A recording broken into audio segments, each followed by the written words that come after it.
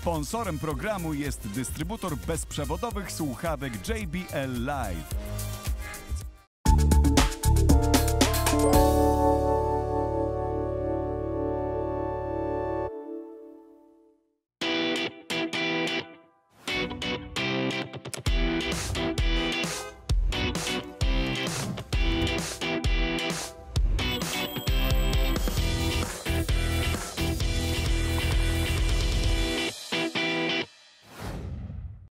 Wiceprzewodniczący klubu Lewicy również jest ze mną. Dzień dobry, witam serdecznie. Dzień dobry pani redaktor, dzień dobry państwu. Mm, Czy Lewica również zamierza zawiesić kampanię, a może nawet wycofać swojego kandydata? Y, Pani redaktor, y, to co zrobiła wczoraj pani poseł Kidawa-Błońska wydaje się być dziwaczne, dlatego że y, to nie y, do polityków i kandydatów należy e, bojkotowanie czy zachęcanie do bojkotu wyborów, tylko politycy, którzy zdecydowali się na tak ważne, kandydować na tak ważny urząd, urząd prezydenta, powinni właśnie dzięki temu, że są kandydatami i mają wpływ na opinię publiczną, e, i na kształtowanie e, poglądów co do wyborów, powinni zrobić wszystko i być w grze, e, żeby te wybory przesunąć. Pani poseł Kidawa-Błońska, pani marszałek e, Kidawa-Błońska właściwie wyeliminowała się z tej bardzo ważnej debaty o, o wyborach, ale tak naprawdę pani redaktor powiedzmy sobie bardzo szczerze, dzisiaj Polaków e, zupełnie nie obchodzi e, kwestia wyborów. I też e, na pewno z niesmakiem patrzą na to wszystko,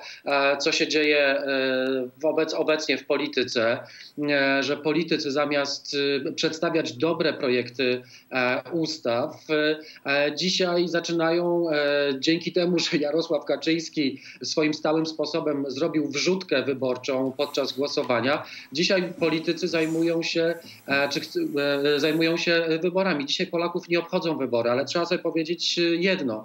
E, Pani marszałek Kidawa-Błońska wycofując się e, z wyborów, bo tak trzeba ocenić to, e, ten ruch pokazała, że chyba nie jest dobrą kandydatką na trudne czasy, bo w trudnych czasach trzeba podejmować bardzo trudne i odpowiedzialne decyzje. Odpowiedzialna, odpowiedzialny polityk powinien zrobić wszystko, mając dostęp do mediów, do mikrofonów, do, mm, do uszu i oczu opinii publicznej, powinien e, nalegać e, na to, żeby te wybory się e, nie odbyły.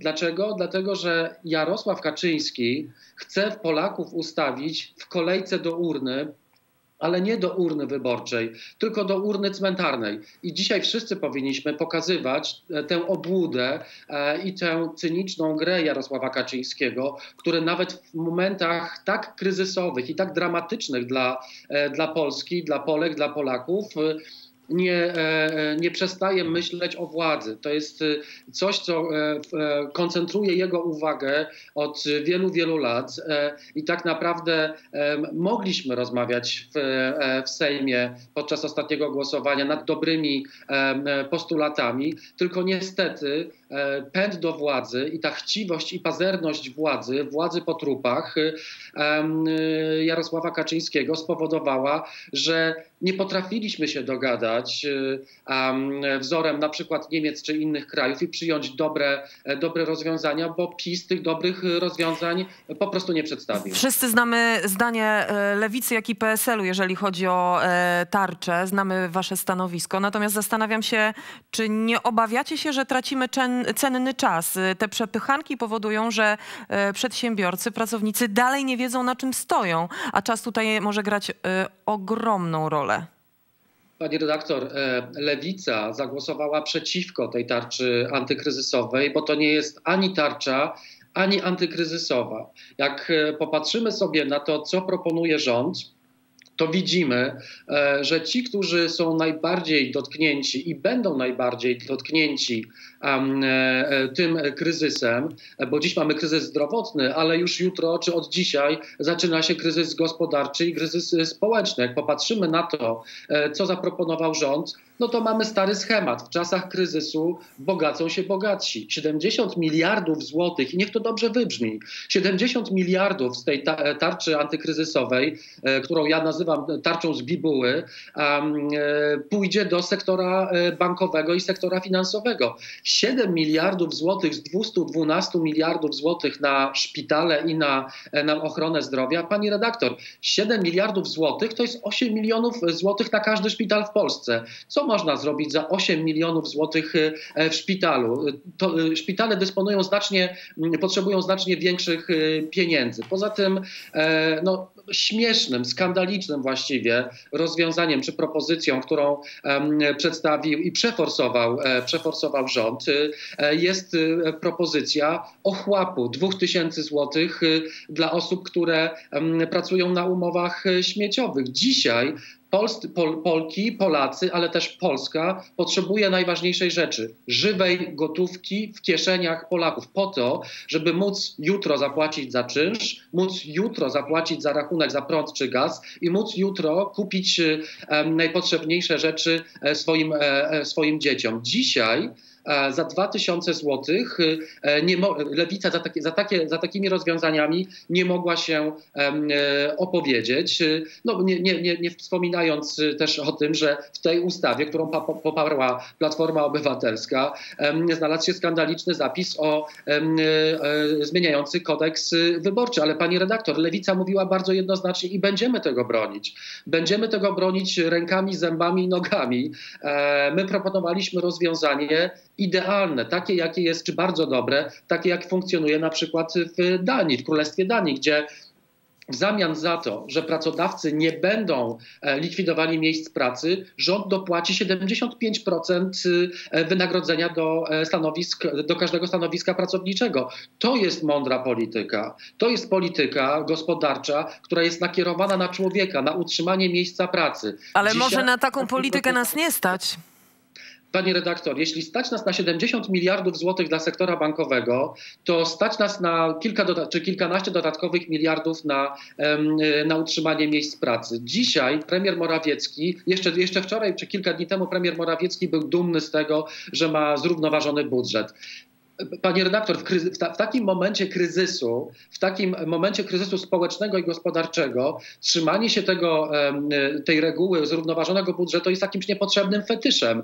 To jest, e, dzisiaj jest moment na poluzowanie reguł finansowych i e, zaciągnięcie długu, czyli na deficyt budżetowy, taki jaki mieliśmy jak, jakie mają inne kraje i dają radę. Więc e, dzisiaj w Senacie będziemy rozmawiać o, z pozostałymi partnerami, bo jesteśmy w większości e, w Senacie, o dobrych propozycjach, o wzmocnieniu służby zdrowia poprzez tę tarczę e, antykryzysową, o wzmocnieniu praw pracowniczych. Proszę sobie wyobrazić, panie redaktor, że w tym że w tym rozwiązaniu, które jest ochłapem e, rzuconym pracownikom, te rozwiązania pozwalają na obniżenie pensji pracowników między 20 a 50%.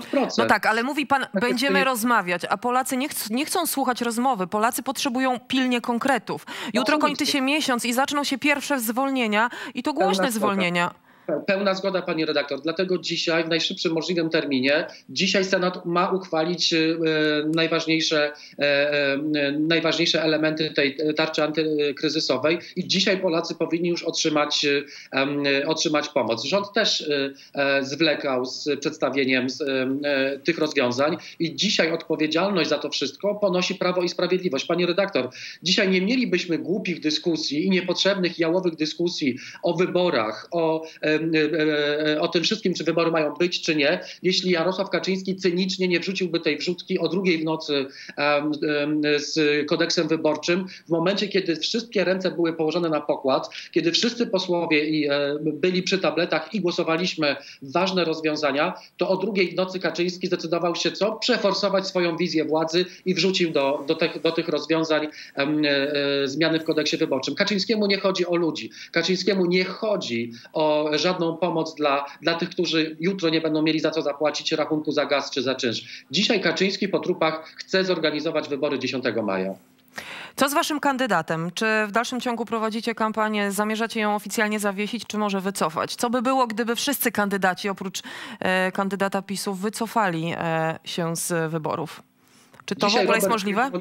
Dzisiaj Robert Biedroń e, rozmawia i od wczoraj rozmawia z naszą wicemarszałek Senatu Gabrielą Morawską-Stanecką o najlepszych rozwiązaniach, które ma, mają być przyjęte w Senacie. Robert Biedroń um, pracuje nad poprawkami wraz z całym klubem. Przedstawiliśmy ponad 200 poprawek do ustawy e, antykryzysowej. Dzisiaj nikt normalny nie myśli o wyborach i nikt nie rozważa różnych scenariuszy. Nie ma czegoś takiego jak kampania. Pani redaktor, czy widziała Pani od trzech tygodni jakieś spotkanie wyborcze, jakieś spoty wyborcze? Ale widziałam nowego kandydata. Mówię o y, y, kandydaturze Jakubiaka. Czy nie jest ona kontrowersyjna w dzisiejszych czasach na ten moment?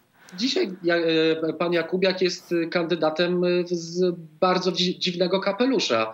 E, nie wiem jak, w jaki sposób, a wiem jak się zbiera podpisy. Sam stałem na ulicach wtedy, kiedy jeszcze można, to było to możliwe i zbierałem podpisy i wiem jak ciężką jest to pracą, i, praca i jak długo zajmuje zebranie kilkuset tysięcy podpisów. Pod kandydaturą Roberta Biedronia podpisało się 300 tysięcy osób, więc nie wiem w jaki sposób w ciągu tygodnia zebrał 140 tysięcy podpisów, więc jest to wrzut E, bardzo, bardzo dziwne okoliczności. E, nie mam oczywiście dowodów, ale, ale myślę, że, że to jest e, no, co najmniej dyskusyjne, w jaki sposób można było zebrać w tak krótkim czasie podpisy. Ale dzisiaj nikt normalny nie prowadzi nawet dyskusji o tym, jak prowadzić kampanię, bo dzisiaj wszystkie ręce na pokład i Robert Biedroń pracuje mocno nad propozycjami, tak aby uratować codzienne życie polskich rodzin.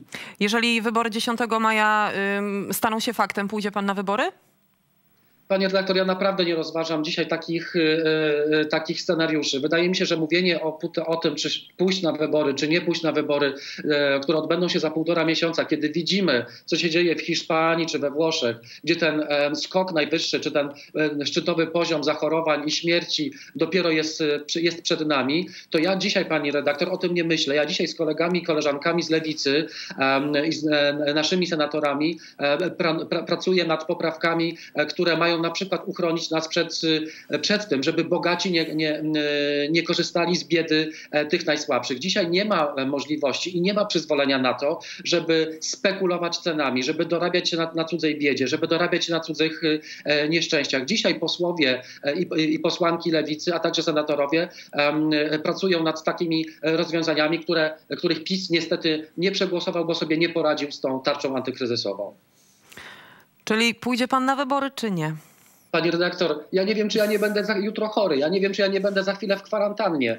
Nie, nie mam e, dzisiaj przestrzeni na myślenie, e, czy ja będę 10 maja stał w kolejce, e, tak jak już powiedziałem wcześniej, nie do urny wyborczej, wyborczej, tylko do urny cmentarnej. Ja naprawdę dzisiaj pracuję z moimi kolegami i koleżankami nad najlepszymi rozwiązaniami, tak żeby dzisiaj już uchwalić ustawę i żeby Polacy jutro dostali żywą gotówkę do kieszeni. Ale myśli pan, że to jutro jest rzeczywiście możliwe, bo tak jak e, wspomnieliśmy, Polacy nie chcą rozmów, chcą efektów. Kiedy tak. rzeczywiście ta pomoc może stać się faktem?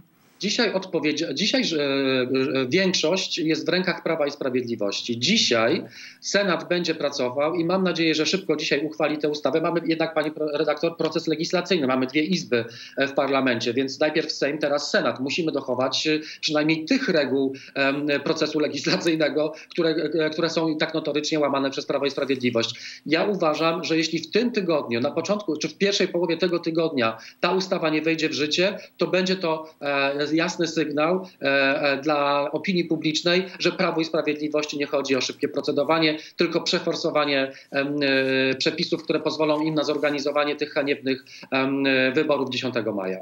Dziękuję bardzo serdecznie. Czekamy na efekty w takim razie. Mam nadzieję, że te rozmowy zamienią się w konkrety, bo na to czekamy wszyscy. Krzysztof Śmiszek, wiceprzewodniczący klubu Lewicy. Dziękuję i do zobaczenia, Dziękuję do usłyszenia.